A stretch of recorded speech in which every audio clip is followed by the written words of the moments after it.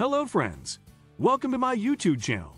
Before we start, please like this video and don't forget to subscribe to my YouTube channel and click the bell icon. Thanks!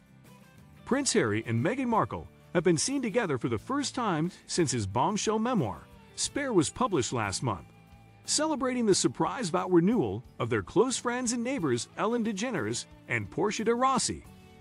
Ellen's wife Portia threw a star-studded birthday party at their $70 million Montecito mansion to celebrate turning 50 last week.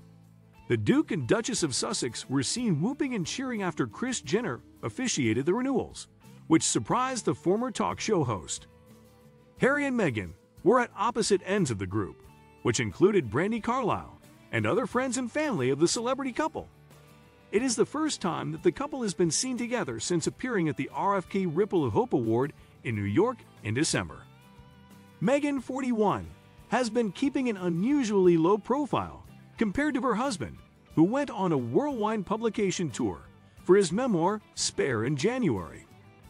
Ellen, 65, appeared stunned as Portia entered the room wearing a wedding dress and called her wife the greatest gift for the surprise. The couple has been married since 2008 and recently moved into the new Montecito mansion, which is just a stone's throw from the $14 million home of Harry and Meghan. The Suits actress' close relationship with Ellen is not a secret, with her appearing on the show in 2021. She opened up about her life in California with Harry and their two children Archie, 3 and Lilibet, 1, as well as taking part in a cringeworthy prank. A royal source told Vanity Fair, the matter of titles is still up in the air. The feeling is that the titles need to be earned. The royals need to know that they can trust Harry and Meghan not to keep damaging the reputation of the family.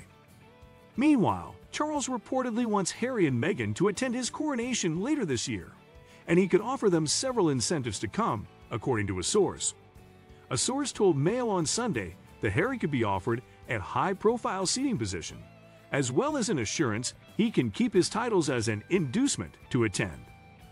They said Harry's camp made clear that the idea that he would just attend the coronation and behave himself but then be stripped of his titles was a total non-starter.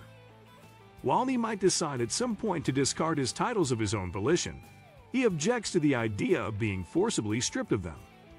He resents being lumped together with Andrew in the public mind as the two problem princes when he considers the circumstances to be totally different.